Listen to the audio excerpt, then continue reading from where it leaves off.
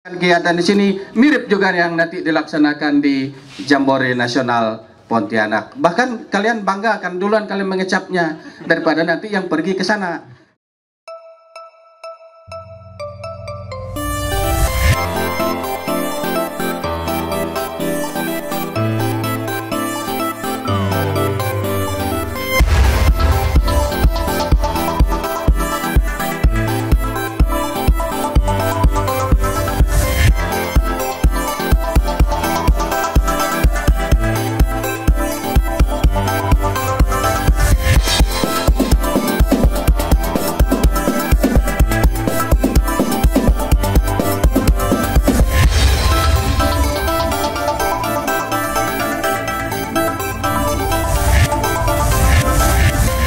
Anak-anak ini adalah kalian adalah generasi bangsa anak-anak muda dimulai dari SD, SMP jadi ini harus membentengi diri dengan iman yang kuat